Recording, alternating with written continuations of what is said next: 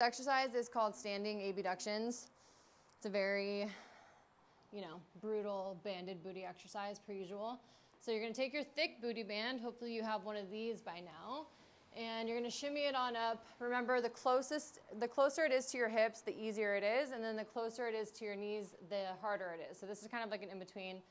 This would be harder, so I'm gonna bring it up a little bit. So standing abductions, remember abduct is to take away, so we're gonna be taking our knees away from each other for these abductions. So what we're gonna do is kind of come into a position where your knees are bent a little bit and you're pushing the hips back just a little bit. To show you here, so hips come back just a little bit. And then you can lean forward. So you're just kind of finding like a standing extended um, position. And then from here, you're gonna be taking the knees in and then drive them out as far as they'll go. In, drive them out as far as they'll go. And this is kind of the pace it's out and hold and squeeze. Out, hold, squeeze. Just like that. So you don't, you're not here. You want to really try to get the full range of motion and feel that in the sides of your glutes as much as you can.